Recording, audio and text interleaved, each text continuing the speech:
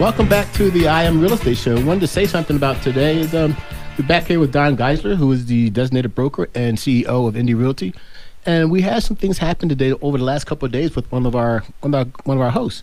Um, I think Danielle, you had a relationship change. Yeah, my relationship status on Facebook did change. You know, some people they say that it's not official until it's Facebook official. So I went ahead and I made the announcement that I am in a relationship with real estate every day. Everyone knows it is not changing. It's official. So there we go. I love that. I gave it a, a, a good uh, like or love, and I'm like, wait a minute, or should I be saying ha ha? I don't know which. I don't know if I'm supposed to go on the funny route here or like, oh yeah, this is really cool. So congratulations. Yeah, thank you. I am very happy there's no question about Danielle. That's good. As we do and do a lot of real estate issues and a lot of stuff, paperwork is one of the things that you have to worry about doing in the real estate world, and people don't realize how much things, how much paperwork has to be done, and how important it is as you as our as the designated broker has to follow the paperwork from the from the agents. How important is you from your agents to make sure that paperwork is corrected?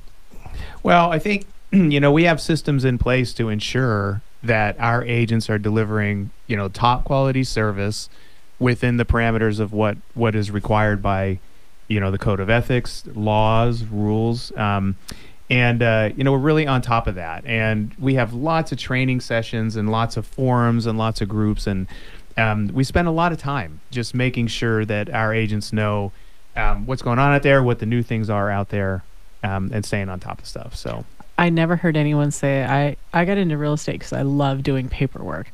no. That doesn't get disclosed until you are. Oh, Raymond's got Raymond loves doing paperwork. I take that back. He is he's a systems guy, so he really excels at at putting those systems in place.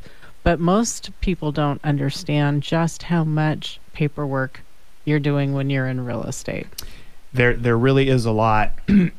Excuse me. And one of the things I'm always kind of saying is that we are sometimes guilty of shielding our clients from h- exactly how much we are doing behind the scenes. Yes. You know, we whether they say it was a difficult transaction or an easy transaction, there was so much more work than what they understand, and that, that's that's kind of what we do. Yeah, you know? we want it to be something that feels comfortable and where they're not having to carry the stress of a transaction. Yeah. And so I think that is kind of our job to shield them from that. Um, but yeah, there, there's an, an immense amount of accountability that you have when you are an agent because we do have fiduciary duties to our clients and we take that really seriously. We do, and you know something that we were discussing a little bit earlier was, you know, that fiduciary duty. Um, you know, again, when you're out there looking for a great agent, and how do you choose a great agent? Somebody that's going to advocate for you. But what concerns me sometimes is that I, sometimes I think that agents can lose sight of what it means to advocate for your client. Um, does it mean that I beat up the other party and just ring them out to get you know five more dollars out of them for the client? You know, I guess sometimes if that's the direction that we're given from the client, but it's not about winning. Like the most important thing that we have to know is, you know, it, I sometimes I picture, you know, some people getting up in the morning and looking in the mirror like uh like De Niro, you know, in the mirror like are you looking at me? You know, that's not what we're here for. So, I like for people to remember that our clients only came to us for one thing.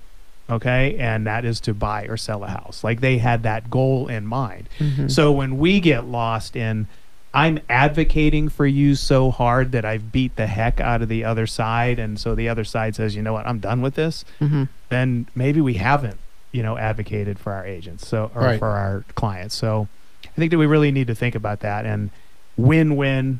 It, it's so important that everybody is looking for the win-win because that's that's what the consumers, that's what the clients want out of us.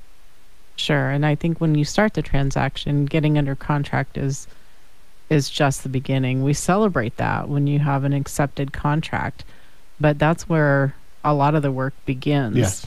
And how we handle the details of moving forward through the inspection period and and through any repairs and things like that. You know, you want your buyer, like you were saying, to get what they need, but you also want the seller to not be so offended through the process that they just go, okay, we're done here. We're not doing anything. We're done.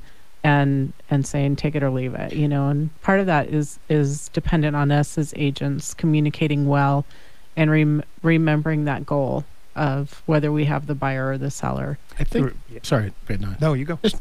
I think we need to remind the sellers and the buyers that we're there for them.